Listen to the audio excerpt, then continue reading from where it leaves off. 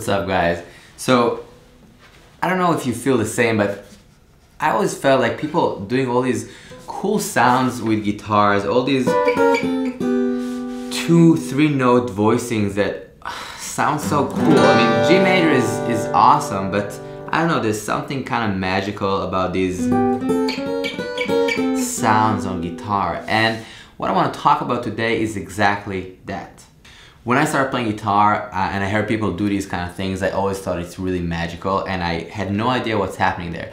Now I have a few um, points of reference that makes everything a little easier and I just want to share these kind of ideas with you guys.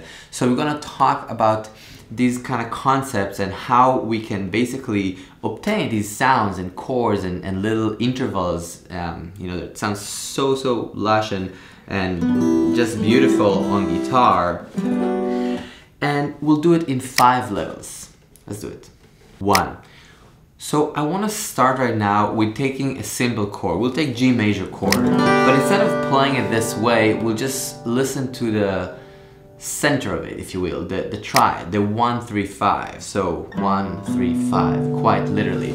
So if I'm thinking letters, G, B, and D, right? I'm just playing open strings, super simple. I think solfege, so sol, si, re. And then what I'm gonna do is just take this sound, these three notes, and invert them. So just play in one area of the guitar, the same chord, the same three notes in different combinations. Let's do it together really slowly because I feel pretty strong about it that this is kind of like the basis for all these cool embellishments. If you like this kind of content and wanna make sure I can make more of this kind of stuff, please check out the Patreon. There's a PDF for this video and also a ton of PDFs. There are three um, kind of levels on Patreon and they all have different things. Um, it would mean a lot if you can check it out and support. Thank you.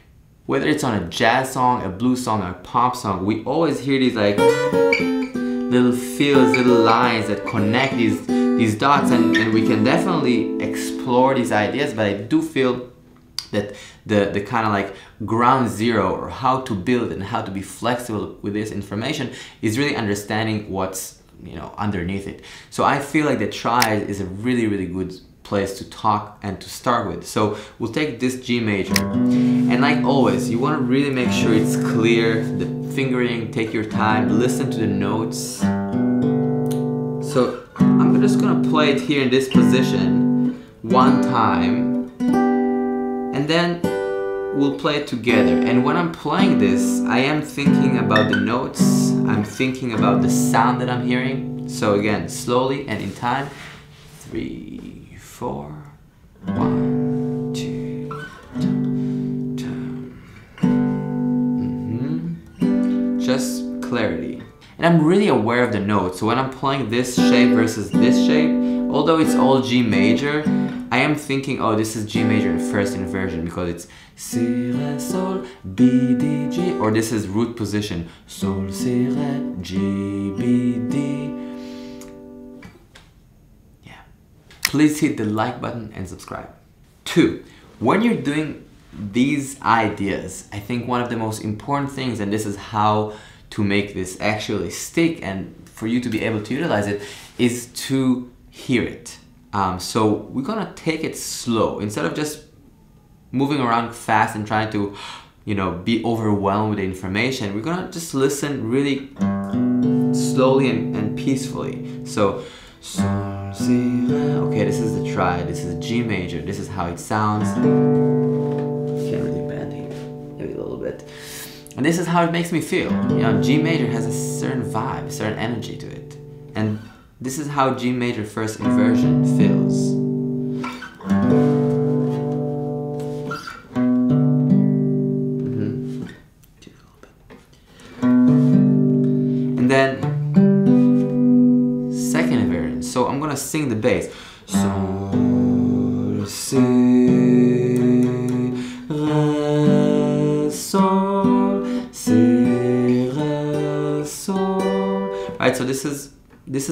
Playing literally the inversion for G major across the guitar here, but I'm also trying to hear the bass motion. So again, together, slow. Sol, si, re,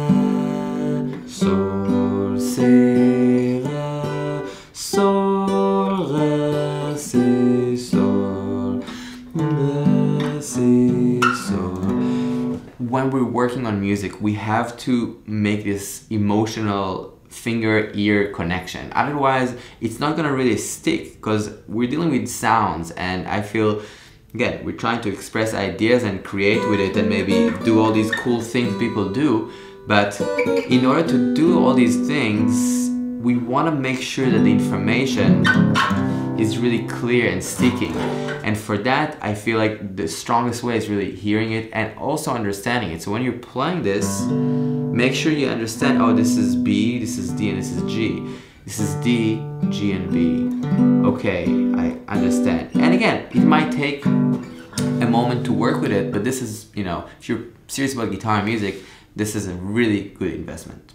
Three, Alright, so let's say we took this position here and we understand G major. Now, we want to feel free. When I'm playing and, and working on music, I definitely, um, one of my goals is to feel free to create and interact on stage or when I'm writing, working on things. So again, I don't want to be limited to one position. So right now we'll do kind of like maybe three main areas of G major on the guitar. So we have this one, do this real quick. This is the first maybe area and then we can start from this one from the first inversion and just go forward here to this G major here. And you can uh, ascend descend and you can really see the notes. And if you can't yet it's fine you will. You know you can see this shape here of this G right? This G major.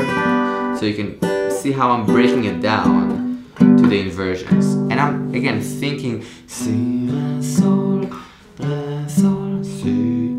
etc I'm really thinking about the notes because later on I wanna I want to be flexible so I can adjust them and change them when I'm creating. So it's kind of like an investment for the future in a way. Next position. Maybe I'll start here. Again, with this acoustic guitar.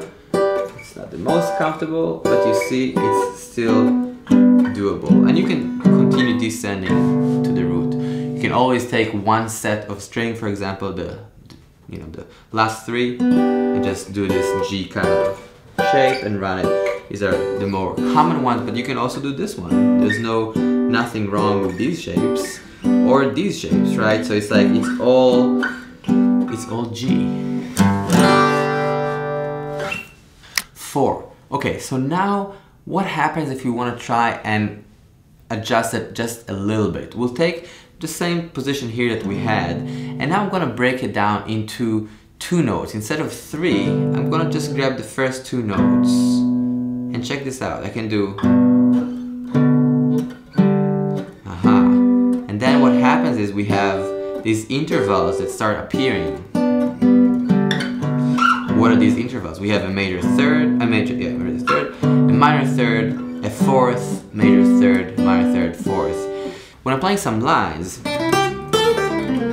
maybe I want to fill in a little bit of interval. And again, this interval for me symbolizes or kind of like suggests G major. So I don't have to always play G or G or different full chords. I can just play even maybe a fourth. Again, it's a sound and a color, but especially if you have a bass player or a piano player, you know, that's playing something, maybe all you need is just a little thing and and I think like that's the idea when we hear these sounds and we work with them and we understand what we're doing it all gets really really flexible and really cool. So what I want to do with that is not only taking those intervals basically two notes but doing an approach note. So it will sound like this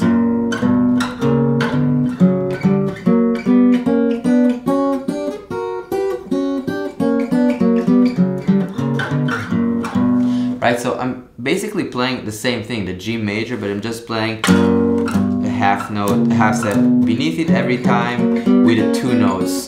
But it's already sounding cool. You can do the same thing with the full triad. It will sound like this, right? So basically F sharp, like, well, here we, we can't, we were missing one note, so it will be like a little thing. F sharp to G, just chromatic.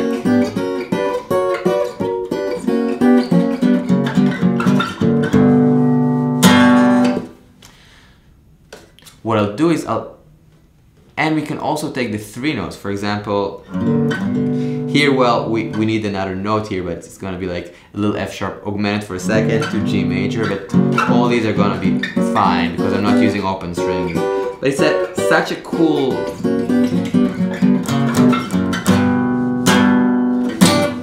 it's a cool sound. It's just like a really cool, yeah, I just love it. Five. It's great and we understand G major, but also what about G minor? So right now I'm just gonna go quickly over the same idea with G minor. So these three kind of points in the guitar we can see these chords and again we can do it with two notes or three I'll do three notes so we have the full kind of G minor sound it's basically the same shapes so when I'm working with this I'm thinking you know really the same idea sol si bemol re si I'm listening to the color and how how this sounds you know how it makes me feel so I can really tag this information one area, maybe second area would be here. And I can just descend, ascend, descend. Maybe third area would be here, and you can adjust it if you want.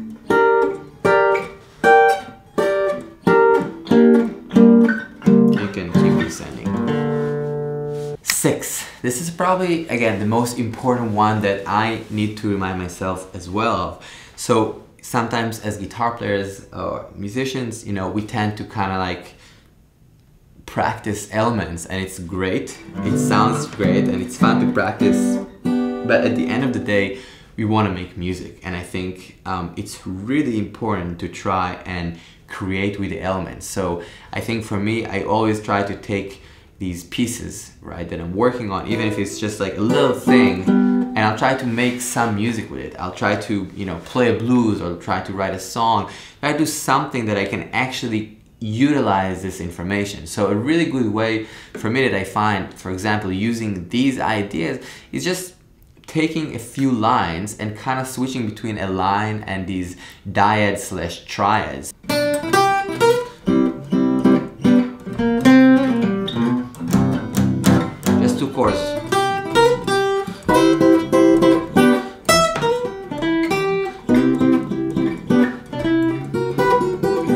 Even what just happened, right? I was just playing this G idea and our exercise with the chromaticism was like, kind of, just I just heard that sound. So I think practicing these shapes, seeing them and hearing them would just, you know, would lend itself to hearing these ideas when you're soloing and when you're working. But just remember to dedicate um, an equal amount of time maybe to improvising and utilizing the information versus just being in the lab and practicing. Thanks so much for listening guys. I hope this was helpful in some way and interesting um, and I'll see you very soon. Peace.